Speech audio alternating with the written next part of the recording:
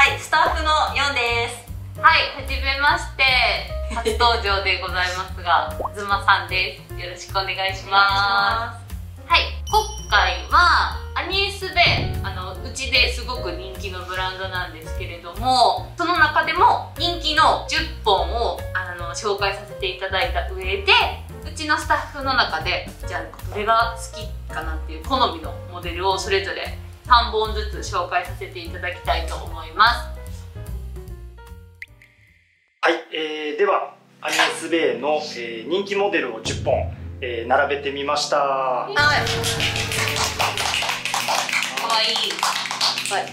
あのこの10本のうち、えー、皆さんのお気に入りの、えー、モデルをご紹介していただきたいと思いますのでじゃあヨンさんからはい。お願いします、はい、えっと私お気に入りのモデルこのこちらのマルチェロモデルのこの長方形タイプなんですけれども結構見てもらった感じ。丸いタイプが多いんですけども、結構最近この長方形タイプ出ましてで私あの黒文字はめちゃめちゃ好きなんですけれども、それのこのタイプが可愛いなと思ってお気に入りです。でつけてみた感じ。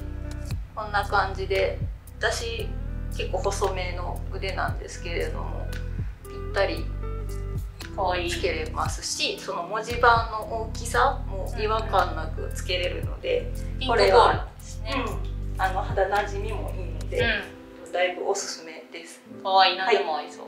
はい、えー、では妻さんお願いしていいですか？はい。私はこれです見えるかな？見えます？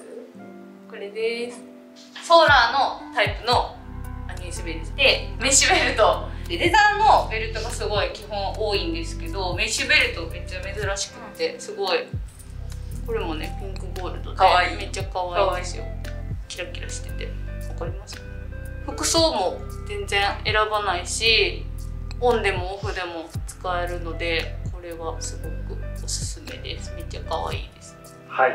では続いて A さん。はい私は断然こちらのカイベルト付きのセット時計ですね。えっ、ー、となんか割とこの中でも一番カジュアルめかなっていう感じででスウェード生地なんであのこのこれからちょっと汗とかで気になるかなって時にこのナトーベルトもすごい活躍しそうだなと思って。グレーでナトーベルトでなんかこれぐらいの細さのものってあんまり見ないなと思って、その女性らしさとかこの色味もすごい可愛いなと思ったんで。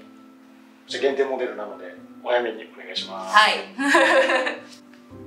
はい。では次の一本をヨンさんお願いします。はい。えっ、ー、と私の好きなモデルその2これこちらのサムシリーズのモデルです。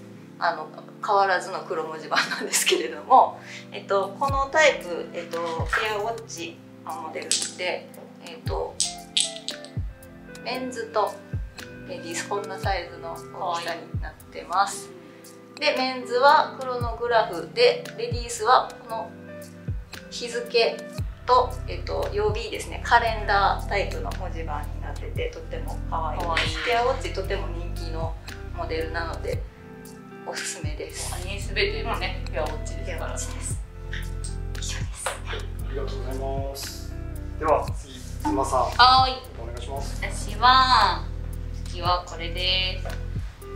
ピンクのやつ。アニエスベイでピンクの文字盤ってほとんどないんですよ。ありそうでない。そうすごい珍しくって。基本結構黒とか白とかあのモノトーンなものが多くって、まあ、シンプルみたいな感じなんですけどこれに関してはすごいピンク文字盤でしかもちょっとこうキラキラが入ってるんですね。パールっぽいそうで文字盤もちょっとこうパールみたいな感じになっててすごい可愛くてラメほどギラギラしてないんですけど程よく結構ツヤっとする感じでめちゃくちゃ可愛くってこのピンク色が結構珍しいのであんまりアニエスっぽくないじゃないんですけどでもこれはねすごい他のアニエスベイとちょっと差をつけたい人とかにおすすめです。めちゃめちゃ可愛いです。ありがとうございますはい。はいでは A さん次の一本お願いします。はい私はこちらです。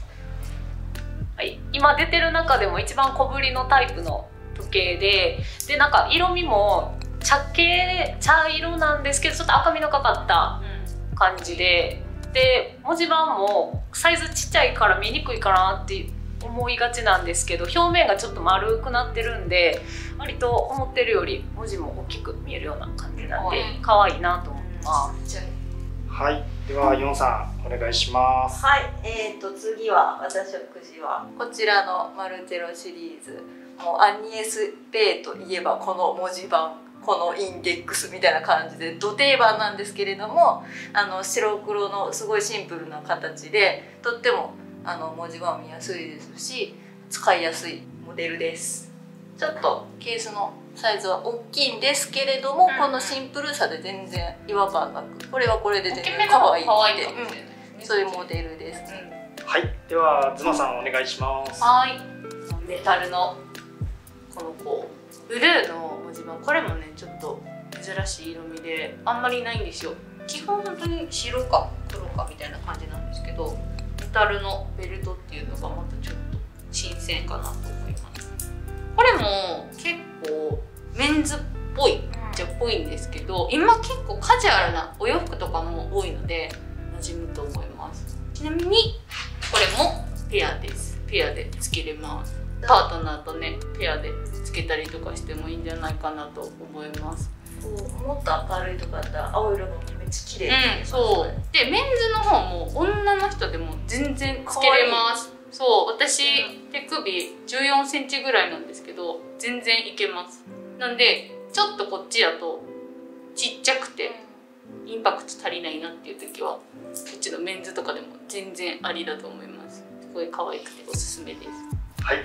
では A さんお願いします。はい3本目私もかぶっちゃうんですけどこちらですねやっぱりシンプルで使い使いやすいかなっていうところであとちょっとメンズライクな感じなんで私割とそういう格好したりもするんですごい使いやすそうだなと思ったんでこれを選びました。で一応ペアモデルなんでメンズのものもございます。若干大きさが違うんですね。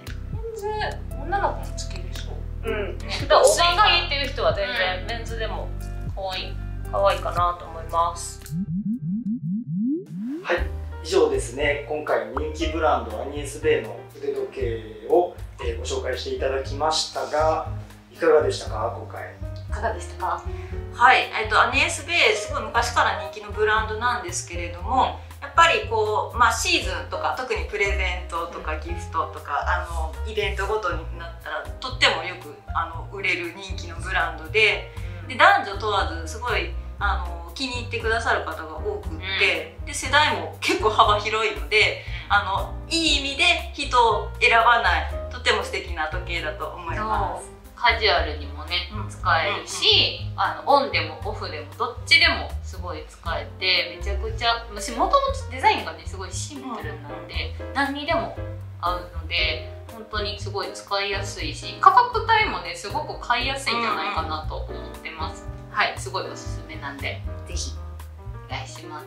はいお願いします、はい、えー、皆さんの腕時計選びの参考になれば幸いです、はい、今回あの紹介した商品の詳細は概要欄の方に載せさせていただいているので気になった方はぜひ概要欄からチェックをお願いします。また、えーと、チャンネル登録高評価ボタンなどよろしくお願いします。イエこんな商品を紹介してほしいとかこういうことを聞きたいとかっていうことがあればコメント欄にいただけると動画作りの参考になるのでぜひぜひお願いします。ではまた次回の動画でお会いしましょう、はい、バイバイ。バイバイ